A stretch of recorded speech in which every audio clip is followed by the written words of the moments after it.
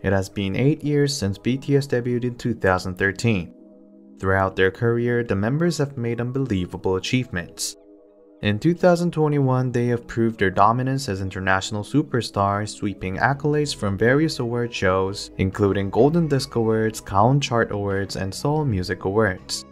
They also surprised everyone by receiving a nomination for the Grammy Awards, the most prestigious award show in the United States.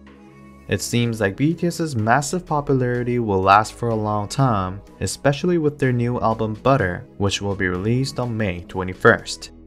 However, some people are saying that we might not get to see BTS next year.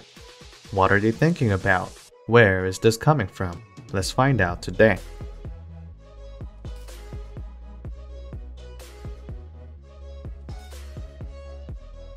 We might not be able to see BTS in 2022. This speculation started because of a report on BTS's label HYBE. One analyst predicted his report as BTS members will all collectively enlist in the army by mid 2022. The analyst also further suggested that due to pre-filmed videos, the actual gap of BTS would only be about one year. It's true that Jin, born in 1992, is scheduled to enlist the next year. Suga, RM, J-Hope, Jimin, V, and Jungkook will all follow Jin's path respectively.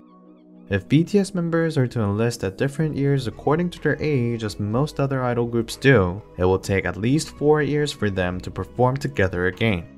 It seems like they have decided that enlisting together rather than individually will be more beneficial for the group since it can prevent a long break. They have adjusted the time so that all 7 can stay together as much as possible. According to one inside source, all the members cherish their group very much. And for this reason, there is an agreement within the group that their military break should be shortened as much as possible. BTS members will come to a conclusion after careful considerations. In April of last year, BTS shared their opinions on Korea's mandatory military service in the CBS Sunday morning interview. They said enlistment is the natural process for Koreans and that they are ready to serve their country when they receive the call. The possibility of BTS's military service exemption was once a big topic within the South Korean government.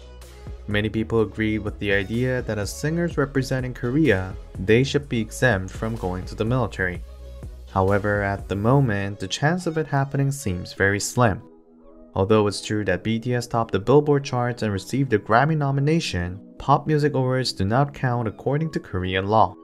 The law grants exemptions exclusively to fine arts award winners.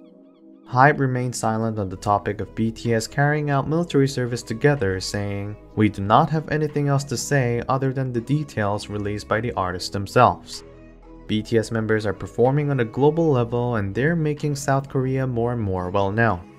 The exact date of their military enlistment doesn't seem very important. The members have been very clear in emphasizing their desire to protect the nation. I hope they'll continue to make Korea proud both as superstars and young men protecting South Korea.